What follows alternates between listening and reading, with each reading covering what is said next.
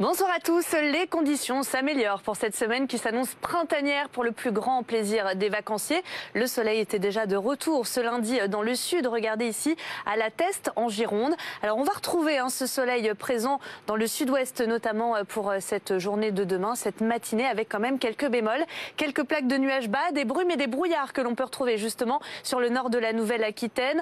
En allant jusqu'au Lyonnais, on aura des brumes et des brouillards également pour la région Grand Est, la Picardie, l'île de France, la Normandie. Ça devrait quand même se dissiper dans le courant de l'après-midi. Ailleurs, beaucoup de soleil avec encore un petit peu d'instabilité pour le nord des Alpes jusqu'à l'Alsace. Et dans l'après-midi, des averses qui pourraient tourner à l'orage dans l'extrême nord-est avec ce ciel variable. Sinon, le soleil fera de très belles apparitions par les bords de Manche, par l'ouest et par le sud. Pour les températures, contrastées en matinée, 0 à Aurillac contre 11 degrés pour la côte d'Azur. Et dans l'après-midi, des valeurs en hausse sous le soleil du sud-ouest, 23 degrés entre Bordeaux et Biarritz. 18 à Paris ou encore 14 à Cherbourg.